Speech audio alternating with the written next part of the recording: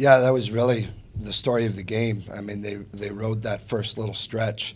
Um, the rest of the game, uh, you know, they were they hit nine threes in the first half. They were 15 for the first 20 from the field, and then the rest of the way, uh, they only shot 41, 42 percent, whatever it was. And so, um, but they had gotten themselves a nice cushion uh, in, during that time, and and um, uh, got up to a 20 point lead, whatever it was, and we cut into it. You know, the rest of the game. If this had been a 50 minute game, who knows? Uh, but it's not. It's a 40 minute game, and and um, you know we just couldn't get ourselves all the way. They rode that first 10 minutes for the rest of the game.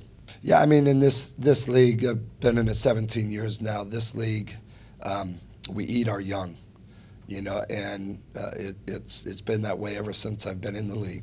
Um, young teams uh, have to learn from the school of hard knocks, and and I liked what I saw in terms of the uh, the fight and and uh, the not backing down. I mean, it was looking bleak uh, there for a long time. Uh, we couldn't get them to miss, you know, and and some of the shots they took, some of them were absolute mistakes that we made, and and other parts of it was just them hitting good shots and and uh, you got to got to tip your hat to them when that happens. Come into the come into an opposing gym and shoot the ball that well. Um, so it's it's but I liked our fight. You know, we didn't we didn't give up and and those young guys battled. I mean, we had uh, 15 offensive rebounds on the night. Um, we only turned the ball over six times. There were some good numbers that came out of this.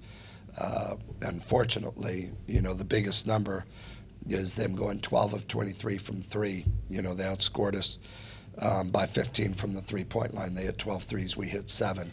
That, for all intents and purposes, is the difference in the game.